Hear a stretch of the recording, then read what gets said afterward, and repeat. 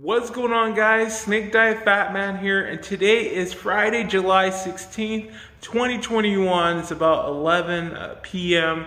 and today was day four of my seven day snake juice fast and I feel pretty good guys. Had a little bit of this acidic feeling right here but uh, other than that, I'm feeling pretty good. No cravings of any food. Um, you know, of course, like when I do my deliveries, I smell the delicious food. Uh, of course, I would like to taste it, but as far as feeling hungry, I do not feel hungry at all.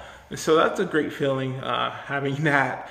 So the coach has me drinking some vinegar with my water right now to help with the acidic problem.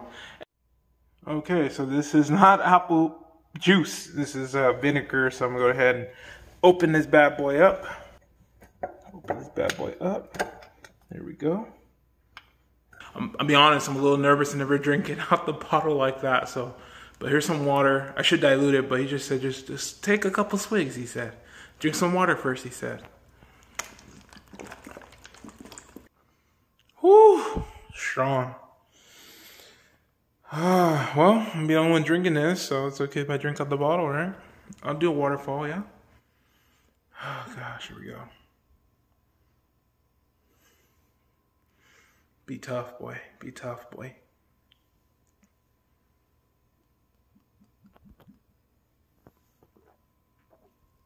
Oh. Burn you. Ooh.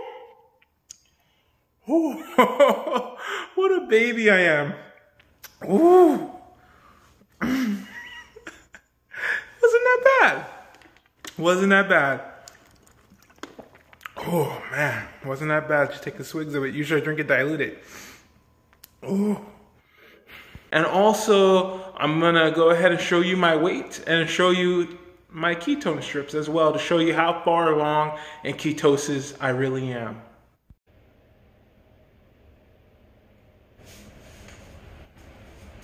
What the? Definitely got some color here. Definitely in ketosis.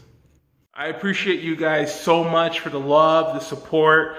Just know that if you are also on this journey, you can do this. I believe in you. We got this. We're going to accomplish great things. Just keep pushing forward and great things will happen for you, okay? And just capture what is yours. I will see you guys later.